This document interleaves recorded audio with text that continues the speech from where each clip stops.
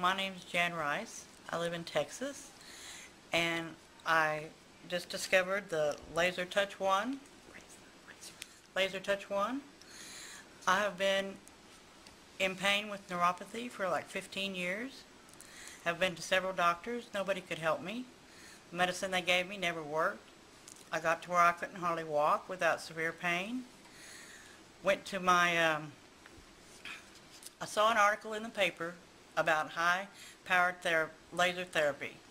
I went to this doctor. She wanted $2,500 for 18 treatments. I was telling my massage therapist about it, and she told me about this. So I, she gave me a, a treatment, and I was out of pain for three hours after one treatment. So of course I bought one immediately. Been doing it every night for since mid-May and I have went up to four days with no pain at all. And I'm just amazed. It's a miracle. Would you recommend it? I would recommend it to anybody for anything. But for neuropathy, it is fantastic. And I'm just in love with it.